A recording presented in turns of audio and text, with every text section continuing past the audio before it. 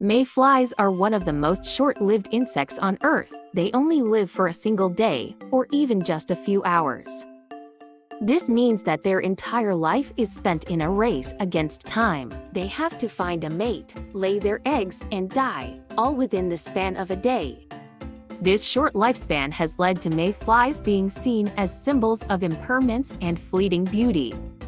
But the short lifespan of mayflies also makes them a reminder of the importance of living in the present moment. They teach us that we should not take our time for granted, and that we should make the most of every day. So next time you see a mayfly, take a moment to appreciate its beauty, and remember that even though its life is short, it is still a gift. Mayflies are a reminder that even the smallest creatures can have a big impact on the world. They are a symbol of hope and new beginnings, and they teach us to live each day to the fullest.